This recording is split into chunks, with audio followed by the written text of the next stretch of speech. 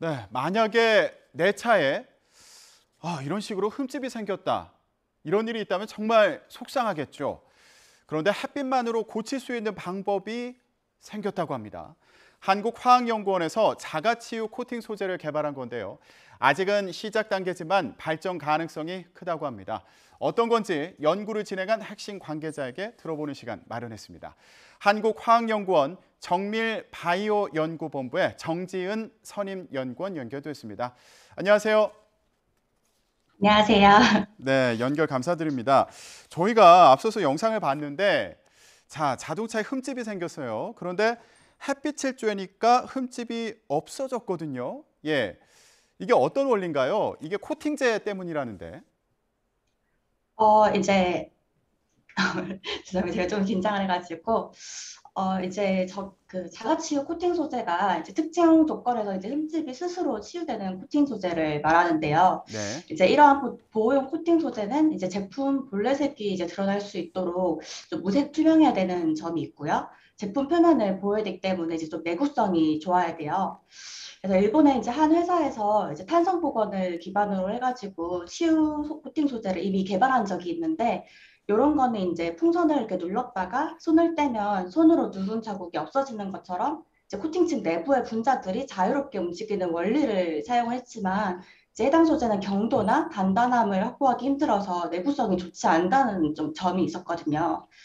근데 이번에 저희 한국화학연구원에서 이제 개발한 코팅 소재는 이제 자가치유 분자를 이제 고분자 내에 이제 포함을 해서 어, 기존 기존의 이제 자동차 보호용 코팅 소재랑 그 내구성 같은 성능이 이제 동일하면서도 햇빛만으로 흠집을 자가치유할 수 있는 게 어, 특징이라고 할 수 있겠습니다. 일단 그 제가 아까 고분자라고 말씀을 드렸었는데 어, 기존의 보호용 코팅 소재는 이제 그물망처럼 얽혀 있는 고분자 구조로 이제 이루어져 있다고 보시면 되거든요. 네. 어, 이제 개발한 코팅 소재는 이 고분자 안에다가 특정 공도 이상으로 올라가면은 이제 자가치유가 되는 화학 구조랑 광열 염료 두 가지를 포함하고 있어요.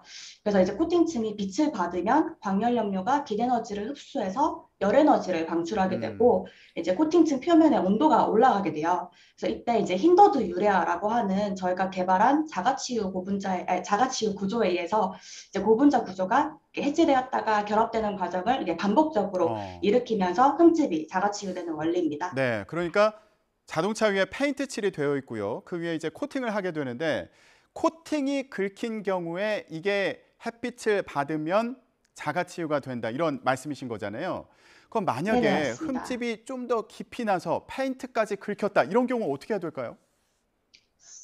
어, 이제 그 간단하게 제가 가- 자동차 표면 코팅할 때 이제 좀 어, 층을 좀 말씀을 드리자면은 예. 이제 여성분들 화장하실 때 이제 화장이 잘 올라가도록 이제 프라이머 같은 것들을 바르는데요. 예. 자동차도 이제 마찬가지로 접착력을 높여주려고 프라이머 같은 층을 먼저 뿌리고요.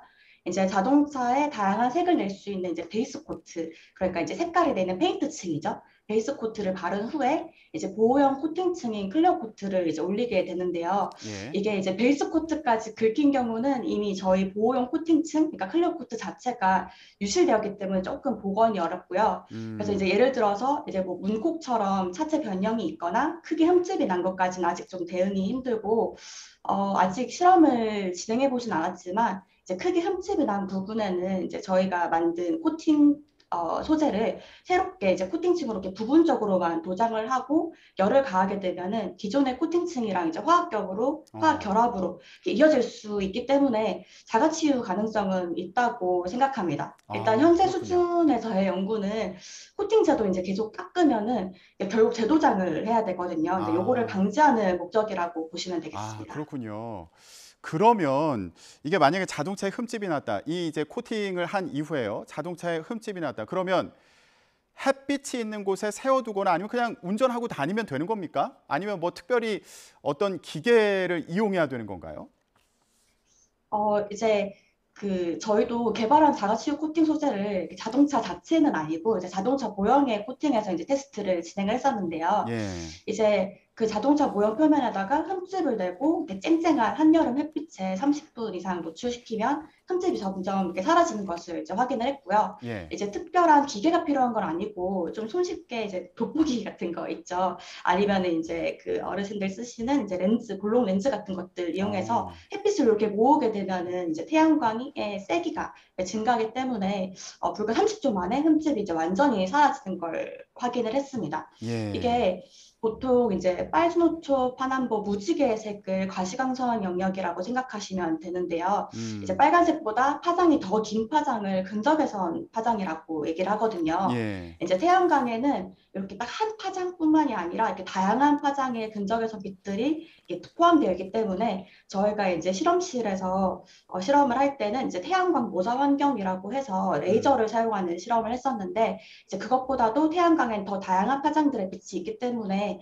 오히려 이렇게 태양광을 이용해서 돋보기로 모았을 때 더 빠르게 자가치유되는 모습을 볼 수 있었고요. 어, 어, 그래서 이제 이런 clear coat가 정말로 상용화가 된다면은 어, 이제 자동차를 가지고 이제 운전을 하면서 또는 이제 좀 흠집이 좀 과하게 났다든지 빠르게 이제 치유하고 싶은 부분, 보이는 부분을 바로 이게 효과적으로 치유를 하려면은 돋보기 정도를 사용하시면 되지 않을까 예. 생각합니다.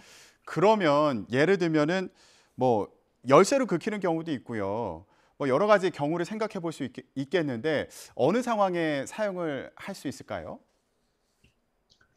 어, 일단 아까 말씀드렸던 것처럼 이제 보호 코팅증이 이렇게 막 완전히 벗겨나가지 않을 음. 정도의 긁힘까지는 어, 자가 치유가 가능하다고 보고요.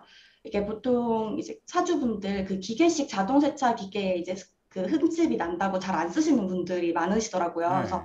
이런 기계식 자동 세차 기계로 세차한 뒤에 생기는 미세흠집이라든지 그 열쇠에 이렇게 긁혀서 나는 흠집 정도는 치유가 가능하다고 보고 있고요. 예. 하지만 아까 말씀드렸던 것처럼 베이스코트까지 흠집이 난 경우에는 현재까지는 현재 기술로는 조금 치유가 어렵고 좀더 어. 연구를 진행해 봐야 될 것 같습니다. 예, 그렇군요. 그러면 또 궁금한 게요. 이게 자동차 말고도 사실 스마트폰 같은 경우에도 흠집 나는 경우가 많잖아요. 이런 경우에도 쓸 수. 있을까요? 아, 그럼요. 저희도 이제 스마트폰이나 컴퓨터 같은 전자기기나 이제 특히 생활 흠집에 취약한 안경 렌즈 같은 부분에도 음, 적용 가능성을 좀 고려하고 있고요.